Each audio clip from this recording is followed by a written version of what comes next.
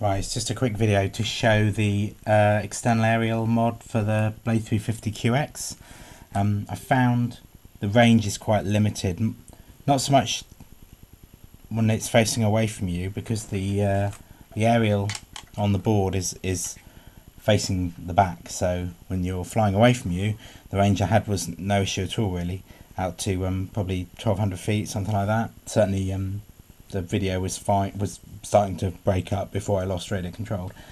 The problem is when you turn and come back because the then the battery and everything else is in the in the way, your range reduces, and that's when I found I was losing RC control. And this is is obvious because when you're flying along, you will suddenly it'll jerk to to hold, um, and you realise you've lost control. And if you wave the transmitter around over your head or change the angle, you can sort of get control back and then bring it back to you. But it's not, it doesn't fill you with confidence. And especially when you've got a good video signal on FPV, you, you want to be comfortable flying to that sort of distance. So the uh, the original, I'll put some pictures up, but the original aerial is just a little thin copper wire comes out of this back corner of the board. Um, so I just took a, a piece of thin coax. Um, I actually bought uh, on eBay a Nintendo DSi uh, Wi-Fi aerial, which came with a long length of this. Um, to strip the end, you make sure you're more than three centimeters in, so probably five or so, just so you you can trim the end accurately afterwards.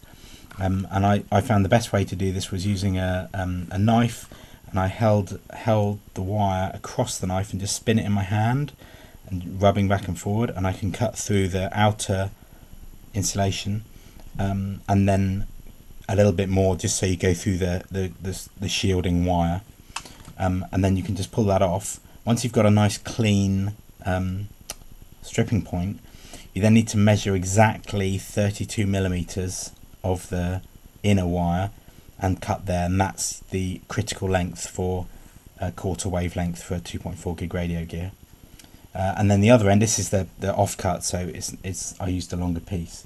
The other end, you do exactly the same thing, but obviously you need a much shorter piece. Um, I had a probably about a five mil of the inner insulation, and then I just twisted the screening braid off, and then I tinned both bits.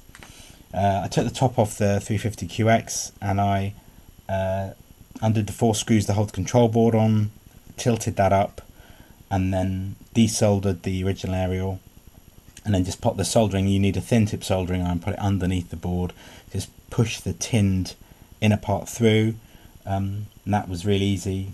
I thought it would be awkward, but it was it was fine. And then the uh, there's a pad which I'll show in a picture now, which is the uh, ground point for the negative terminal of the battery, and you can use that for the screening part. Now I tested this, I wasn't sure this was going to work at all, I wasn't sure if it would be worse than the standard aerial, um, but so to, to make sure that I tested it fairly, I, I went outside and did a range test before I changed anything. Uh, there's a big difference which way it's pointing, so um, tail in, uh, I got uh, I think 15 paces of range test. I did this using, um, if you go into smart mode with a green LED and then move the cyclic, you will get the beeps, beep, beep, beep, beep, beep the out of trim beeps.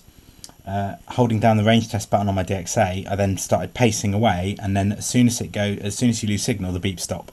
So it's a really easy way, and I was actually turning around while I was walking, so that I was getting the worst angle. And uh, yeah, it was 15 paces tail in, um, nose in was about 11 paces. So I've done this mod where the the aerial now, this extended aerial now comes out through the bottom of the body and I've just got it taped to the skid.